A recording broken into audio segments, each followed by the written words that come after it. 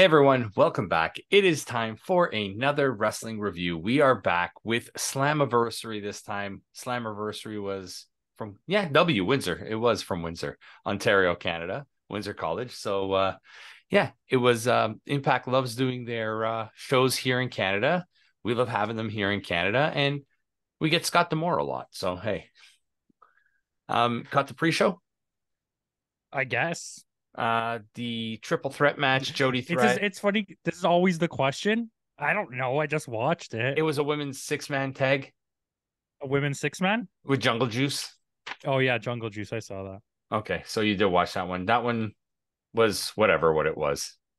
I really didn't care for that. Um, I mean, I've seen worse. Yeah, it wasn't a bad match. It just was a whatever match. I just didn't care Yeah, for it. I, I don't Bruno know if I like this new character. What a Courtney Rush. Yeah, Yeah. I like think we're gonna first I get kind of liked it. we're gonna get the character. I think we're gonna get a return to Rosemary. I think after a while when Jungle Juice turns on her. I think they're gonna just keep losing and losing and losing, and it's she's gonna go crazy and it's gonna come back. I think so. I hope so. Um, but I mean, it wasn't like you said. It wasn't a bad match. Giselle Shaw is pretty good in the ring. She keeps improving. Um, we don't need more Jungle Juice. I mean, this was her best match I've seen. Yeah, because I think she was limited in the ring. Who else was on their team? Uh, Jody Threat, local girl from Toronto, Oh, Jody Threat. Yeah. And then we had uh, it was it Giselle Shaw, Savannah, uh, Jai Vidal. Jai Vidal is the only one, the non, the only non-female member, I guess. I mean, he's one of her bitches, so Yeah, that's true. But uh, yeah, but that then we go into uh, the second match on the pre-show, which was Kenny King beating Joe Hendry. uh lots of issues with this. Um I, I, Kenny King falls into that category of moose Mm-hmm. uh of like uh Moose, Eddie, Eddie Edwards. Edwards. Like I just Brian I get Myers. it. You've been around, you have some sort of talent, but I don't care for you and I don't understand the push at all when there's so many young guys that deserve a shot at the lowest title you have. I would have rather you're- had Dirty Dango win this belt from him. Yeah, I would have rather had Joe Hendry just keep the belt. Because now, what do you do with him? Joe Hendry's got nothing now. You got you have literally nothing. His storyline's over. He has no belt. Where does he go? He's not ready for the X division. Your your X division's so crowded already. Yeah, and so deep. No, it's like just look Yeah. at the match they had. You know what I mean? Yeah, which uh Kenny King wins this, and we'll go right into the the first match of the on the main show was the Ultimate X for the number one contendership for the X Division Championship. It was uh what do we have? We had Kushida, we had Alan Angels, we had Jake something, or returning Jake something, uh Jonathan Gresham, Kevin Kevin Knight, surprisingly, and Mike Bailey. I mean, you had five really good wrestlers, in my opinion. 5 Mhm. really good wrestlers. I don't understand the inclusion of Jake something. Not that he's bad, but like He did, he felt like he didn't belong. in comparison to the name value of all those other wrestlers, I mean, Kevin Knight is still young, but he's proved that he's good, Yeah. right? I Why- think they threw Jake in because he's from? Detroit as well. Maybe. Um, but like, I have I have a big issue with this match type. Like we Okay. saw, like the X half the X falls apart.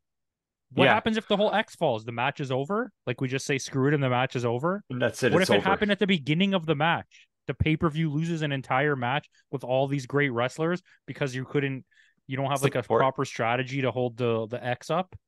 Yeah. Um, but I mean, it was a fun match with some innovative, like there was uh there was that uh, the double Spanish fly that uh, Angels did. Like there was There a, was, there a couple really nice spots. Yeah. Um, Alan Mhm. Angel spiked his head into the floor when he did that. Mhm. Well, I got scared a little bit. Yeah. Um, I wouldn't necessarily claim botches in this match, but there was a lot of really awkward spots where like you could tell it didn't go exactly how they thought way they were going to do it.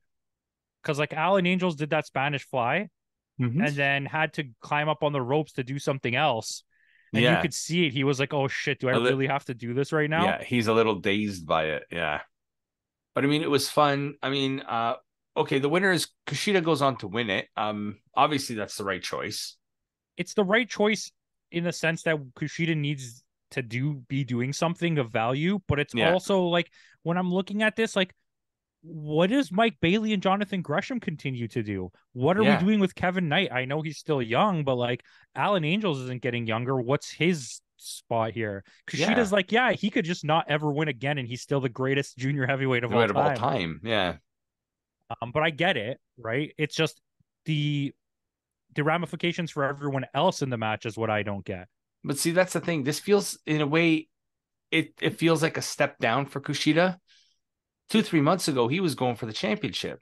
It does unless you use it to get him back to the main pitcher, the the main title. But the problem with that is, well, no spoilers, but Nick Aldis is a Yeah. guy that it's like very deserving of winning a championship. So it's like, kind of, what do you do here? Yeah, it's they're in a tight spot. And then what do you do with someone like Gresham, like you said, and Bailey, where the put they need a push. This is where that third title could have helped them, and instead you stick it on Kenny King. A- exactly, and I do think, I I think we're in the. It's weird to say this because, like, I am a more belts guy. We know this, Mm-hmm. and but Impact seems like the kind of place where more belts is not necessarily a good thing. But now they're like overflowing in this mid card with nowhere to put anything because to me the the digital Yeah. media championship is not a mid card title. That's your lowest. That's your Title. TBS TNT title. Yeah, that that's like a WWE doesn't even have one of those belts. The North No. American Championship, I guess, But uh, because they, I wouldn't put the NXT title that low. but they need something in between now. They need something like they either uh, need to get something in between or they need a trios belt yeah, so that you can keep large groups of people in the picture at the same time. Do you know what I mean? Yeah, absolutely. I, I kind of like that idea. Or, like you said, or a secondary title to really. They used to have it one time, but. Well, we'll see. Maybe they'll bring in something back. But The uh, legend, the legend belt, whatever The it was leg- called. Yeah, it was it the Legends? It, it changed names four times. I saw Like- it today. It was like, like Legends, something, The King of the something, Mountain. something. King of the. It ended on King of the Mountain. Yeah, and then they merged it when Jeff Jarrett came with the GCW Global uh, GFW Global Force Wrestling. But I mean, Kushida wins. Kushida will probably, um, when we get to it, that match that's going to happen will be amazing. Yeah, uh, I'm not going to be disappointed with that. I, I think it's funny. I won't give any spoilers on my take of this pay per view, but I Mhm. think we're we're going to be on opposite ends of this by the end. Okay, all right. Um, with that, we're going to go into the women's tag team match of Killer Kelly and Masha Slamovich against the Coven of Taylor Wilde and KiLynn King. Was there a sale on red hair dye? I don't know. I don't know, but I this is one of my most anticipated matches of the year, Mm-hmm. literally of the year. I genuinely think that Killer Kelly is one of the most underrated wrestlers in all of Mhm. wrestling. I Not think just female. that I I uh, period. And I think that Masha Slamovich is arguably the best female wrestler that is working today. So, Okay. and then not to mention that KiLynn King has a very bright future. And Yeah, at this and- point, Taylor Wilde is a Canadian legend. Yes, I was going to say she's well established. Look out for that Canadian top wrestling women list coming soon. Coming soon. Eventually. Eventually. Eventually, it'll come. But um, but it still was a good match. It, it was disappointing. I will never call this bad. I, I enjoyed it. I think it was a good match, but I expected the world of this for some reason. And when I didn't get it, it just kind of I was like, uh, I kind of let, and it ends very abruptly. Yes. Um, It was a short match. Last minute. it Well, How long was it? Like six it was like- minutes? It's nine. We get that little false finish at the end, and then uh, we get that distraction by Killer Kelly and Masha Slamovich ends up winning with the snowplow. So we got new women's tag team champions. and you know what? I'm glad. I I'm, I can't wait to see what they're gonna do with it. Well, It's that's just- the thing. We finally got some gold on Masha in Impact. Both of them. I don't. I don't think that Killer Kelly's ever won a belt. She, she went from W maybe before, but she went from WWE to Impact, and I don't think during that entire run she's ever won a belt. No, probably not. So hey, good on her too. Like I'm looking for I'm looking forward to more. Like I want more. I want to see them Yeah. like absolutely run roughshot in the entire women's division now. I want. To. I would. There's. There's like a few. I would have loved to see Chelsea Green and Deonna Purrazzo against them. You know. Yeah, but Chelsea Green's still under contract. Yeah, not like Chelsea Green's in will see in the next match. WWE doing some kind of stupid character that she's at the bottom of the card. She's at the Yeah. bottom of the card. And we haven't even seen Emma in a while, too. I'm I, I and and those are people that I I praise their talents. Them and Yeah. the uh the other two girls. What were they called? The Iconics. Yeah. Like Um, eh, but yet they keep bringing Charlotte back and putting her in the main event picture. See, this is what I'm saying. I approve of the Oscar and Rhea situation a hundred percent, but I'm Mm-hmm. Yeah. worried that we're gonna go right back to the norm, right Yeah. back to the norm. Yeah. But that's that's that's an episode for next week when That's we do our episode for another time. Yeah, that's when we do our state. But um so we'll go into our next match. Um so like I said, we're I'm I'm interested. So you you weren't a fan of this match as much as I was then. It, it wasn't not a fan like appreciation of what happened, like Yeah. the work in the ring, but I think for setting this up to have these all these characters in one place at one time to to finally put over these two women is like nine minutes. I want I wanted like 20 a 20 minute match. Like, did we not just watch Bullet Club Gold versus FTR? Like yeah. you could do this. These are four women that are very capable. There's no there's no like loose nail in this team, No. you know. There's no loose screw in these four people. They could put on an epic match. Why did I get a 9 minute like medium level match? Maybe they'll save that for the rematch. It's possible. It's possible. But uh but yeah, I mean, we'll go into the Goonies next never match. say die. Goonies never say die, exactly. Um, with the next match, we're going with to the next. It's uh Darren McCarty is the special guest enforcer. It's Bully Ray and his new partner of Deaner because Burt Macklin FBI got hurt, and So because you replace him with a worse guy. You know, it, I finally start coming around to Burt Macklin FBI. Now we got Deaner. Like, get out of here. and Scott D'Amore and his replacement partner because they set PCO on fire Mhm. is a returning Eric Young, You know who what's was funny? killed by Deaner six months ago. Technically, I don't mind Eric Young at all, but I do think he's very close to falling into th- this is the one of the only companies too. This might be the only company where me and you have an extensive list of people like no more. Stop having these people in the main picture and the, the main title card.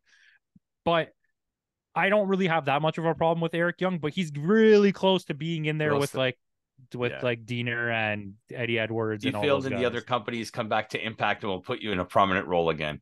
Yeah, and it's like it's weird. Like no, and I think he did really well in this match. Oh yeah, yeah, absolutely, he did. And what's funny about Eric Young was he re-signed to WWE just this past November. Never been on TV, never backstage, and all of a sudden, he's in Impact again. So I guess they released him. They must have, or And they, they must have released him him to. or they, because- or they must have released them a while ago, or they they said you don't have to worry about a non-compete clause. Yeah, it could be. It could just be like we're not using you right now, so go. Do, but um, really surprised by Scott D'Amore in this match. I mean, Scott D'Amore's a real wrestler. He is. He is, fought yeah, The Rock. that's true. He did. That's right. He did. Um, he claims to be the inventor of the Canadian Destroyer. well, there you go. I, he did it in the match, so I mean, he. It's not like he can't go. I'll be okay. Let's let's talk for real. This match sucked, yeah, it wasn't Um, a good match. Obviously not. but it also was. At least it was fun. Entertaining. Yeah, we get Like, that little bit with Scott D'Amore's mom. D'Amore and McCarty like double choke slam Bully Ray through uh, the table. Bully Ray through the table, but like he got like one inch off the ground. I'm surprised the table broke. Yeah, Like because they're both so short, McCarty, and they couldn't even get him off the ground. he had to. He's you could than see. both of them. You could see at one point Bully Ray is making his way on top of the table as opposed to being brought to the table too. yeah, right? And that's another thing. Like McCarty got involved because the referee quit the match, and McCarty put on the referee's jersey. Um, we get we get a one taken out Khan, so at least that takes out the outside interference part of the match. So essentially, it was a four on three match. Also, I don't know if, if this is just me and I don't remember it properly, but do you not remember the last event in Windsor looked completely different? Different. No, that event was I think in London, not in Windsor. Okay, okay, because I felt like maybe they, they filmed on the opposite side last time or something because it looked like the background was looked different to me. I was like, what the hell is this? It, it was filmed at a university gymnasium, St. Clair College. Yeah, yeah, but it's it's a nice gymnasium as far as Yeah. I know, but that didn't this didn't look like that gymnasium. From could have been the time. lighting. It could have been, but you know what? You might be right. It might have been the London University one that I thought it Yeah. was. I just got them confused. Could be, quite possibly. Um, but yeah, this match wasn't good. Um, but at least this feud is done. You there? We may have lost Campo. So I'll keep going. At least the feud is done. We're gonna move on. Um, so up next we get Nick Aldis. Nick Aldis, such a fantastic promo. Um, he's what more can I say? All right. So with that out of the way, um, next we get this really good promo by Nick Aldis. Nick Aldis is such a good, good promo. Like he knows how to talk. It harkens back to those Ric Flair 80s WCW NWA type of promos. Yeah, he's also like a huge jerk, Yeah. and he just gets it. I, I, I don't know. in real life, but I, I really like the I really like his ability to cut promos. I think he's one he is another one of the most underrated wrestlers that's working today. yeah. Yeah, I Hey, think his- it's also due to the fact that he does, I think, have a bad reputation. I mean, that's fine. I'm here for the wrestling. Yeah, if you get to CM are. Punk levels, then it's another story. Yeah. Hey, CM Punk at least put over Ricky Starks. Hey, very happy about that. Couldn't be happier. Yes. Spoiler for uh Collision and the Owen Hart tournament. But uh tune in uh, next week in our state of wrestling when we talk about that. Um, but that's a story for another day. Once again. Um, up next we get uh a really strange matchup between Lio Rush and Chris Sabin. Yeah, and at this point It point, worked. For me, it worked. I'm gonna tell you something. At this point, not not this point. When this match ends, which we'll wait, we'll talk about this for a bit, but Mhm. I realized something was gonna happen, and I was already angry. Like I was already down a very weird hole at this point of being just upset with what everything happening. So, um, this match is good For whatever it was. for whatever it was, but I also have to take away a lot of points because whatever it was was clearly a ploy. Someone was injured or something's going on, right? it's uh, so what happens is before the match, Lio Rush does this move, knocks Chris Sabin out basically. Um, the doctor says no, Chris Sabin can't continue, but he says he wants to continue anyway. A quick minute later, Lio Rush is your new champion. Um, I think Sabin is hurt. I, I think it has to be because it it's it. So this this sets us off somewhere else, but I'll, I'll wait till Yeah. the very end to talk about this specific situation. But I find this odd. Lio Rush hasn't been wrestling in Impact almost at all. But he's contracted to New Japan, isn't he? I think he has a. I think he works for both. Okay. I think he has like a hybrid contract where whoever needs him uses him. Kind of like a Kushida kind of thing, kind of Yeah, contract. basically, like Kevin Knight. Yeah. Um, but it, it, I find it so odd because he hasn't been part of this company at all, and you just slapped the, the title on him. Yeah. What about all those guys that just had a match? Those guys, Mike Bailey has been fighting for the stupid X Division title for how long? Jonathan Gresham is like he's been there a year now and he hasn't gotten a push yet either. They need to join the tag team division. I think Bailey and Gresham together. Yeah.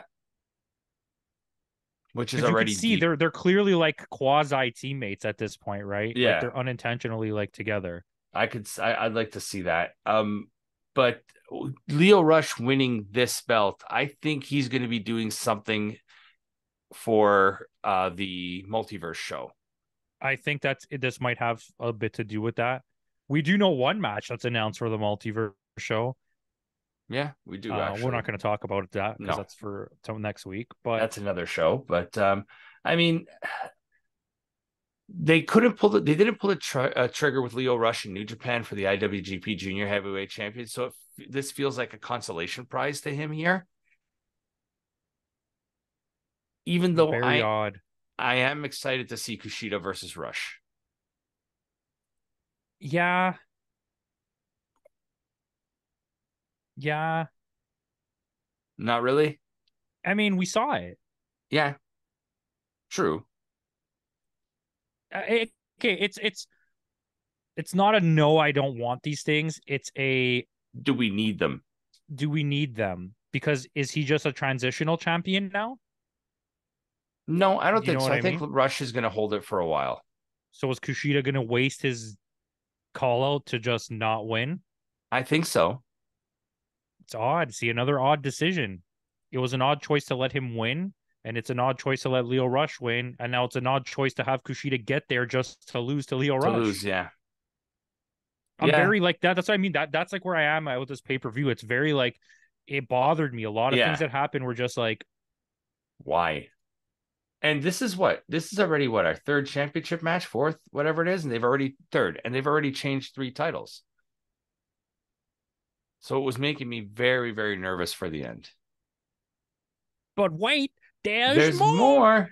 Um, so quick match, like I said, Chris Sabin is probably hurt. I think there was a bigger storyline involved with Chris Sabin, and this was more of a panic move, I think. I 100% agree, but I want to wait till we get there to get there.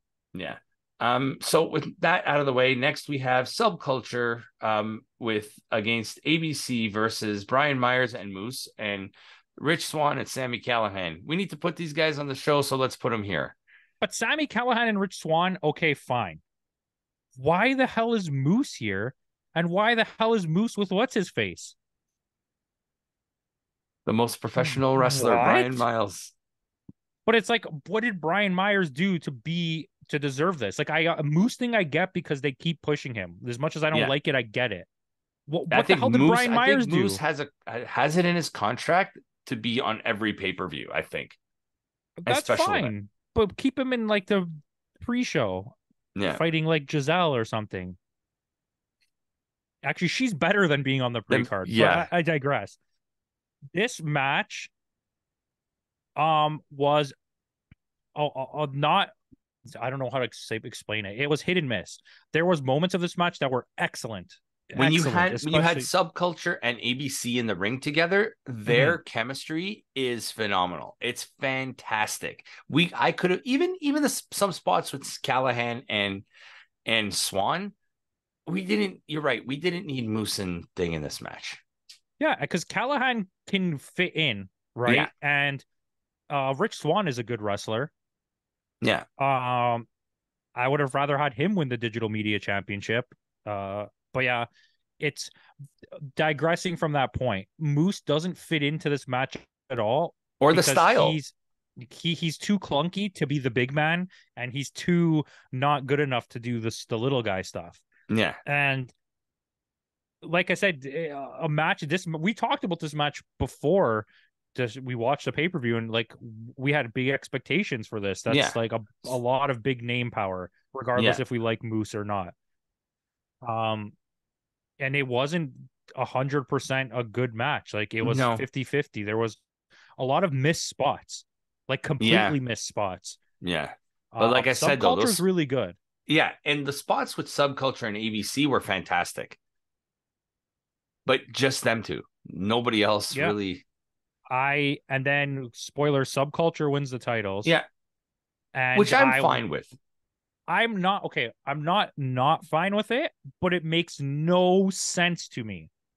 These guys are riding high, dominant as all hell, and you did this on a cop out situation, and you you gave it to subculture. Yeah. They just came through the doors of the company. Yeah. But then again, Mark Andrews, he's been with the company before. Fair, fair. But you know what I mean? It's like another Lio Rush situation. Like, is somebody injured that we don't know about? Is this like a, a like, or are what there, if the, what if their contracts are up? that's possible? Maybe they're going to Japan or something. Right? Their contracts could be up. and we never know. Like, what if they're like my what if their contracts are up and they're gonna be joining BCG? That's very possible. I mean, it's it's that's an awkward one too because Austin. uh I was gonna call him Austin Aries. Ace Ace Austin. Austin is dating Gia Miller, right? And Yeah. she's probably never leaving Impact. So like, I feel like he might not want to immediately go. So we may see a split. If I don't even Chris- know. I don't even know for contracts, right? We don't even know. Yeah. So we're not gonna. Let's not speculate that yet. Let's not But speculate. not a- not a uh, what's his name? They did. all. What's their names? Got involved in this match, though, didn't they? The Rascals. Yes, the Rascals came in and interfered, but then Subculture used it to get Capitalize. some to capitalize on Callihan. which- so- Callihan. And Swann, yeah. So it's kind of weird because the Rascals interference didn't really help subculture Yeah. win. It just stopped the Ace and Bey from winning. Yeah. But I mean, yeah, I mean, this this probably is gonna but then again, why would you like if so if Ace and Bey are setting up a feud with the Rascals, wouldn't you want them to keep the belts so you could fight them for the belts? Or do you Yes. think or do you think they think they have a better chance at beating subculture than they would at beating ABC? I just think maybe there's plans to do something else with them. Like let's say it's not contract related. I think maybe they're planning something else. Okay. Maybe they want a break. Put I, I mean, I trust the impact booking. Like, I mean, they've been pretty good lately and until whatever the hell they're planning for the future right now. I'm very worried. But we said that a couple months too, and then look what it gave us. But it put us on a really good path where right now I don't see that path. Yeah. Right. Okay. Like it, it set us up for so many options where we were so excited about all these options. And now all of these options didn't follow through. And now where are we? Yeah. You know what I mean? Yeah. Yeah.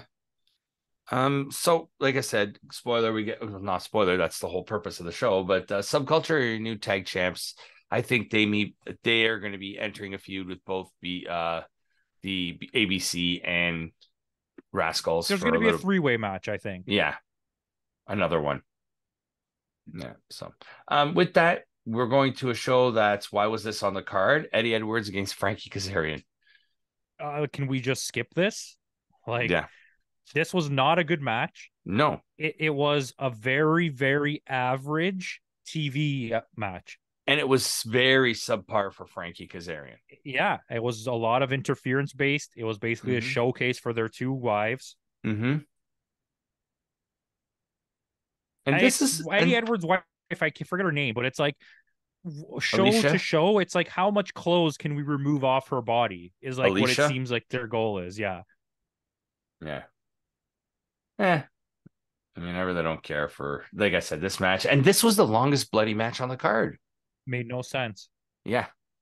And it, Eddie Edwards, like you said, is another one. I put it in my notes too that these two are guys that should be in matches that are putting people over. Eddie Edwards should be in a match with, say, like a Jonathan Gresham, putting it o- putting him over.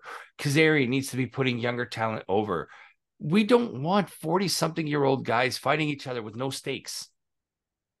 Yeah, that's that's completely fair, and especially because you gave us this awkward situation, and now I'll get rid of this as fast as I can. Where Frankie Kazarian came in, won Mhm. the X Division title, gave it up for his shot, then didn't get a shot really, and is now in the mid card. So why did you push him out of the gate with all of this momentum just to Mhm. shut him down? Yeah, it makes no sense. It doesn't. Right? You So- see, like I'm not gonna ever sit here and pretend Impact is garbage or they don't know what they're doing with the booking. But right now, I'm at a loss of like, Yeah. what are you doing? Yeah, I, I agree. Um, let's we can glaze over this match because it No, we can glaze over this and get to the next match so I can freaking smash my computer on the floor. Uh, we get Trinity versus Deonna Purrazzo for the imp- uh, for the Impact Knockouts Championship. Immediately, spoilers Trinity wins the title. hmm We knew that was coming. Why? I don't know.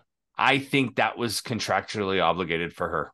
Your most loyal, Best, probably best female wrestler you maybe ever have had. Sorry, Gail Kim, you're definitely up there. Don't get me wrong. You're probably number one. list of but- Canadian women coming soon. it's it's just crazy to me. This Yeah. is insane. Like I get the Burt Macklin situation. Yeah.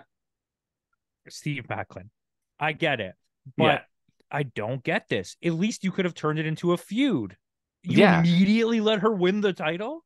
Yeah, and they're still friends after this. Like, unless the the plan is that we're immediately gonna have and it's not because Killer Kelly and Masha are tied up now. mhm. Unless Deonna's going to win this title back right away, and there's going to be a third match, I I don't see the logic of this. It, it feels unearned.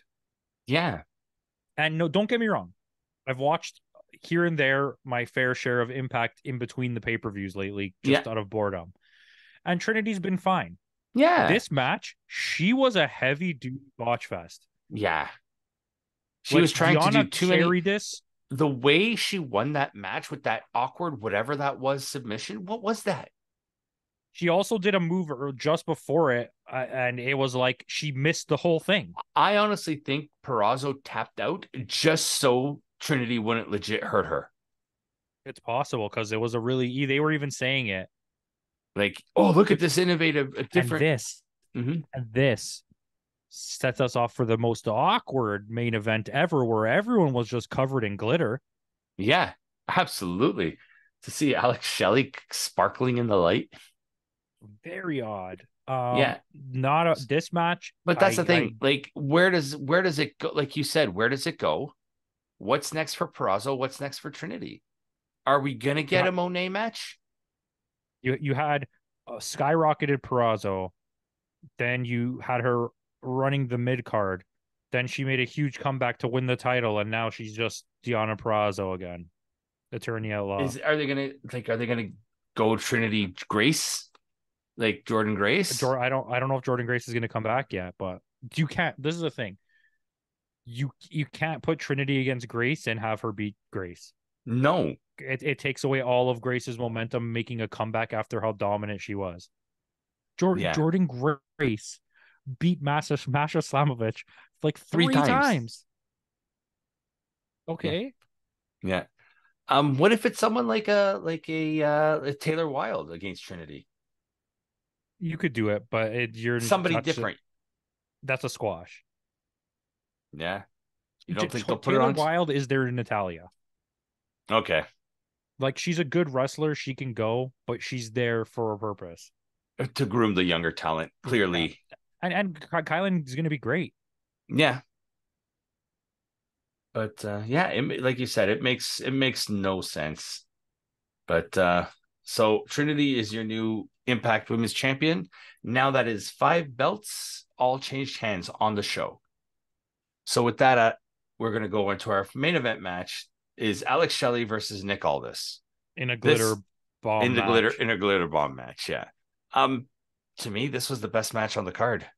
This was definitely the best match on the card. This match was great. Yeah. Um, it was very absent of mistakes. It Mhm. was They were straightforward. it was smooth. so they were extremely like these this is professional wrestling at its at least by for two professionals. yeah exactly veterans that know what they're doing they know how to handle themselves in the ring even with all the silly silly little shenanigans with the belt in the ring and the low blows and all that it still worked for them and it, it worked. It pro- I liked how it worked. Mhm. Where went the ref was like, "All right, you keep bringing the belt in, trying to hit him. I'm going to let him use it." And he gives Yeah. a DDT or whatever. What well, I don't yeah, remember what the, move it the was cradle shock ddt on the yeah on, on the belt. And the On the belt. like, "Yeah, I'm letting it go." but the thing is nick kicked out he Hmm. kicked out at that so uh,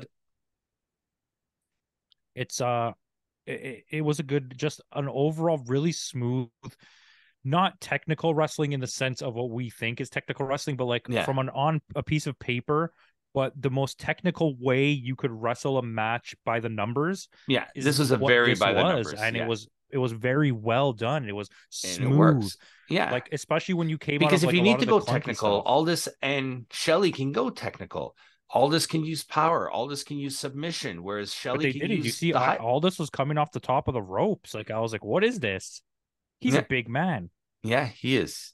He's not a small dude, but yeah, this was this was the best match of the night. We get a couple near falls, but we do get the right. I don't know if it is. We get Shelley winning. Uh, This is why I don't know if it's right, but maybe it is because you're giving Alex Shelley some more time Mhm. before Nick Aldis wins the title. because fair. Nick Aldis called him a transitional champion a lot. Do you feel like now they have to? They're forced to keep the belt on Alex Shelley all the way until Chris Sabin comes back to execute that story, or do you think they're going to throw that whole story in the garbage? That's what I was talking about with by him That I depending on how long Alex Shelley is out for, or sorry, Chris Sabin is out for. If he's out for a couple months, they can do that at Bound for Glory. because I was seeing like maybe he beats Aldis, and then the title changes to Sabin or whatever. They have the match where Shelley wins, Yeah. and then Aldis gets it. But now you're in a place where it's like, how long can you keep Aldis losing? And you know what I on to- mean? and on top of that, after the match, we get a returning Josh Alexander. Oh yeah, Josh Alexander. I completely forgot about that. We get a returning Josh Alexander, and he never lost that belt. So he wants what's his. And that program with him and Nick Aldis would be wonderful. Have him have Nick Aldis win. I'm already on board. Have Nick Aldis win. Let, Mhm. let Alex Shelley keep it for a bit. Yeah. Have Nick Aldis win, and then have like a trio match, four matches, whatever you want to do with Alexander, where the first two or three matches, Aldis cheats every time and to keep the title. Okay. then So we Alexander have a number one contenders match between Aldis and Josh Alexander at Bound for Glory. Have Aldis have che- Aldis, Aldis cheat cheats to to win, win and beats Alexander. and now you set up a, a feud between them. Mhm. I like that. I, I like that. So this sets up a feud. So when Aldis does win the belt down the road, we get the Aldis versus uh, Josh Alexander. I'll take it. Maybe you have like in the meantime to give Alex Shelley someone to wrestle. You push it all the way. Let Lio Rush cash in the, his Dex division title Yeah. to face him just to lose, and that way it opens up that division again for Kushida to face someone. Or you give the belt back to Sabin when he comes back. And you give Sabin that record of the most wins uh, ever for the X Division champion. That's why I keep this guy around. See? I mean, there's so many ways to book it, but this is the only division that can be booked because every other division is all over the place right now. I agree.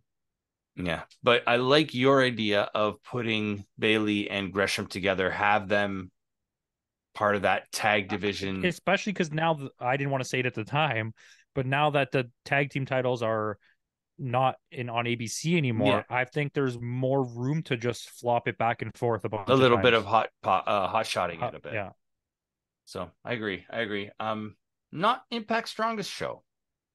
no, I I think I I downplayed it a bit Yeah. as my my personal coming into this. I had high expectations with the storylines, and it Mhm. did not pay off, and it also set us on a path for even worse storylines, at least in my opinion. And the wrestling was just it was base level good, but there Yeah. was nothing that like exceeded my expectations, minus the main event and like here and there parts. Uh, uh, Yeah. For me, it's a seven. Yeah, I I went slightly higher. I went a seven point one. I- So- I'm, I'm so, honestly like I, I'm surprised you stuck with me on that. I felt thought for sure No, after watching I- it, it was your type of kind of show though. You know, like the, the but- way they played it out. Like we say though, the way they booked it, the way what they're setting up, the matches were fine, but they weren't like if the matches were amazing and there was no even if there was no future kind of like what Putty says, how he speculates for the future, right? To throw his name out there a bit. Like he always talks about what's next and what's next and what's next. Well, what's next? Other than the main event picture, there's nothing I'm excited And for wrestling right doesn't stop. So you, it's not like a movie where you have time to like fig- figure it out. Wrestling Yeah. doesn't stop. So you got to start going into stories right away now. Yeah. And other than the main event picture, you got nothing. Like, yes, we're gonna get Kushida versus Lio Rush. We're gonna get, you know, maybe maybe Rush goes on a tear, and you know, maybe this is where Bailey beats him. Or and you know what's a really where- weird one for me? How fast, like ridiculously fast, they U-turn Trey Miguel out of the X division. yeah, Like, what, what was that about? He was like a great champion that was dominating the division. He as soon as he lost the title, he immediately just left. He's going on to yeah, something be- else. because his buddy's back. I guess, yeah. So at least there's boyfriend? at least there's something. He got his friend back, so they can go for something different. You know what I mean? Hmm. I dominated. the tag division. He goes, I've, you know, to for Trey Miguel, it's like he dominated X division. Now I'm going to go dominate the tag division. But I just find it like you should have at least re-challenged to get your title back one or two times. Yeah. Yeah. Like, are So- you not still the number one contender? You just lost the belt. Technically, yes. But they did, they did, there. they did mention something. Um, emergence here in Toronto. Sonata's coming back. Yeah. But Emergence is not a pay per view, right? That's one of those event things. Yeah, that's one of those I think TV special events. But uh What's I the mean, next ex- actual pay per view? They talked about it. Oh, it's multiverse, right? Yeah, that's their next pay per view, and I think their next big show is uh is Bound for Glory in October, or is it? uh Yeah, because they got Victory Road in August, which is one of those TV specials. Mhm. Emergence is another one of those TV specials, and then it's Bound for Glory in October. So I'm really surprised you gave it a seven one. I thought you would go way higher. I guess I was No. wrong. No, no. This was uh, like you said, it was not not the greatest of uh pay-per-views, but it served its purpose. But like I said, where's there's no storytelling for the future. Yeah, they they shot themselves in the foot here. Yeah. So with that out of the way, guys, thanks again for joining us. Um, tune in next week. We have our annual G1 recap, weekly recap. Um, I sent Campo a screenshot already. I've already started the spreadsheet with the standings. That's all ready to go. Um, as of this recording, two nights have already passed. Night three, I think, is Tuesday. So it's going to be a long three weeks. That'll be good. It will be, and I and I realize why they did this the way they did is because of the fact that this year there's more participants in the G1. There's four more participants than last year. Uh So- yeah. Because last year there were four groups of seven. This year we got four groups of eight. And it's in a shorter time frame this year. But this year we're not having pre-match. No, that's why it's, in it's in a it's in a shorter time frame this year. So I think that's why I think that's why they're doing no filler matches. They're just going straight.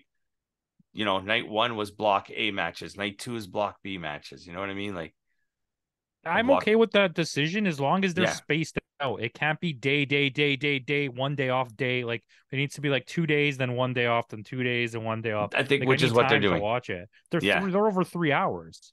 Yeah, they are. So, but that's what lunch breaks are for. Yeah, I wish I could do that on my lunch break. I don't have that kind of data. Anyway, with that out of the way, guys, tune in next week. We'll have our G1 review. We'll probably have a state coming out for you next week as well. So, with that out of the way, thanks again for joining us. Let us know your thoughts on Slammiversary, Impact's second biggest show of the year, up behind Bound for Glory. Let us know in the comments below. If you're not subscribed, please go ahead for more content like this. And in the words of Kenny Omega, goodbye and good night.